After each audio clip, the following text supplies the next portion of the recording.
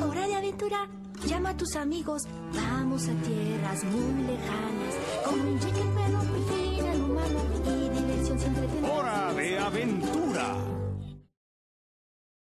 Hola amigos, sean bienvenidos a un nuevo video de Anime.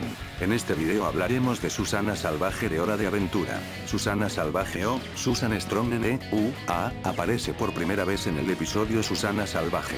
La vida de Susana es subterránea junto con los demás miembros de la tribu de humanos. ¿Quieres saber quiénes son los humanos? Quédate hasta el final de este video. A quienes ella lleva a un ataque contra el Dulce Reino. Al principio, ella no puede hablar mucho español y le tiene miedo a muchas cosas, pero Finn y Jake le enseña acerca de todas las cosas y formas de la gran tierra de U. Le encanta los dulces, en su primera aparición ella y los humanos quieren comer a todos los ciudadanos de la dulce gente excepto a Mentita, Susana dijo que no lo comería, solo a los demás. Susana regresa en la tercera temporada en el episodio Bellotopia. Ella le pide ayuda a Finn para recuperar la antigua casa de los humanos, cuyo nombre era Bellotopia.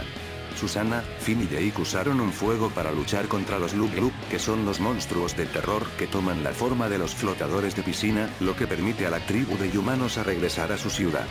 Al final del episodio, Susana le permite tocar a Finn su sombrero, dejando saber si Susana es humana o no. Su última aparición fue en la sexta temporada en el episodio Púrpura Oscuro, donde se muestra más racional y va con dos humanas a la fábrica Superpor para rescatar a un bebé, además se demuestra que no es humana. Este personaje genera muchas teorías. Como por ejemplo dicen que Susana sería Fiona, el personaje que el rey helado ha intentado revivir en un par de ocasiones, también dicen que es un cyborg ya que en el episodio mencionado se muestra que posee una placa de metal en su cabeza, también de comenta que es la madre de Finn el humano, gracias a los episodios ya sabemos que no posee agallas. Podemos decir que no es humana, pero si quieres teorías de Susana puedes dejarlo en los comentarios. La tribu de humanos o también conocido por Jake y Finn como gente pez, aparece en el episodio Susana Salvaje. Son una raza primitiva de humanoides mutantes y que, al igual que Finn, llevan únicamente sombreros de animales. Ellos son más bien paranoicos y hablan en versos extraños. Después de que Susana descubre el dulce reino, amenazan con comerse todo el reino y a toda su dulce gente, a excepción de Mentita, como alimento. Casi todos los humanos tienen debajo de su sombrero lo que parecen ser las branquias y aletas en la cabeza, revelando que los humanos no son humanos, esto provoca una gran decepción en fin. En el guion original, la escotilla a la casa de los humanos tiene peligro biohazard o lo que significa peligro riesgo biológico impreso en ella, aunque esto no aparece en el corte final del episodio. A diferencia del resto de la tribu y humanos, Susan no se quita el sombrero al final de la historia, por lo que hay posibilidad de que ella sea una humana.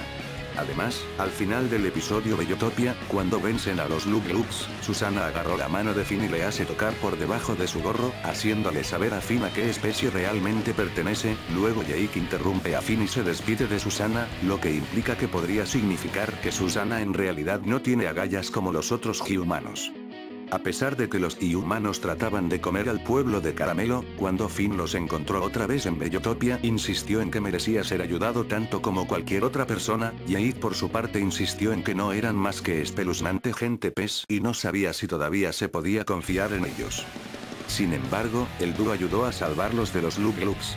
Como explica Susana, hace mucho tiempo la tribu y humanos vivía en una misteriosa clase de refugio como hábitat ubicado más profundo dentro del complejo subterráneo de alcantarillado, lo que ellos llaman Bellotopia, pero lo tuvieron que abandonar debido a los Lugloops, así que Finn y Jake ayudaron a expulsar a los Lugloops, prendiéndole fuego a una antorcha gigante en el medio de la ciudad.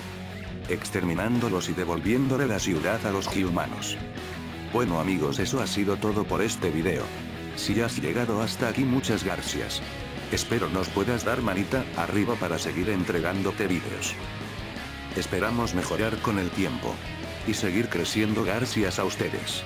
Si quieres más de hora de aventura déjalo en los comentarios. Sin nada más que agregar se despide a Niñin.